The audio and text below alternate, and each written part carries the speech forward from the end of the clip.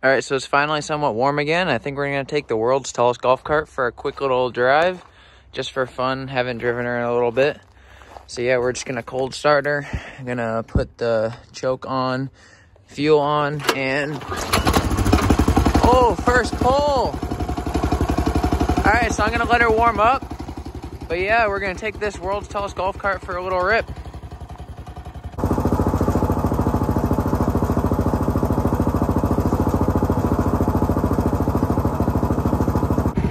Okay, so she's all warmed up. I'm just gonna show you guys a little perspective how tall this thing really is.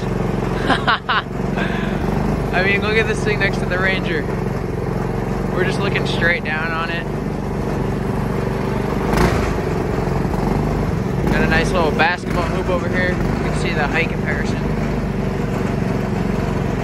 It's literally at the hood.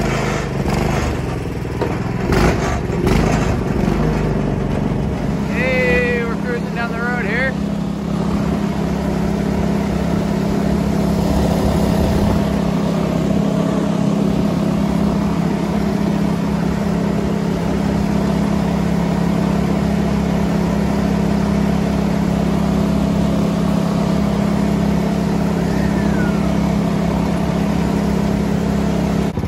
All right, so here's a little takeoff in her.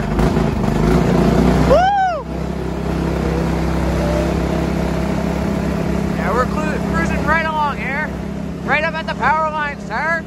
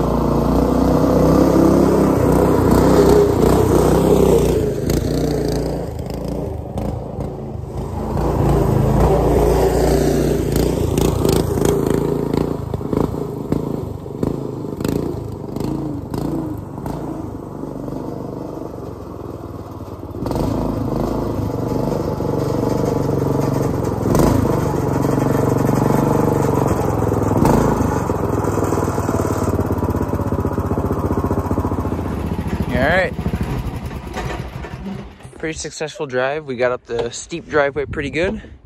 And uh, yeah, I'm loving the new exhaust. I just put on the back. Still got to cut off the hood stack. That thing was a mess. So yeah, that's me driving my world's tallest golf cart. And uh, the reason why I took the hood stack off is because a bunch of water kept getting in it. And then uh, it would actually hydro lock the engine. So I was not, not having too much fun with that. And but yeah, that was a pretty quick, fun drive just to show you guys around the thing obviously I'm gonna make some more videos on it, but I decided to just make a quick driving video just because it's always fun. And uh, yeah, I'm gonna put electric start on it soon because this uh, Predator 420 has a starter. And then I need to fix the brakes, get some headlights, and uh, yeah, just some other small stuff, and then she'll be done. But yeah, if you like this video, uh, subscribe, and I'll see you guys in the next one.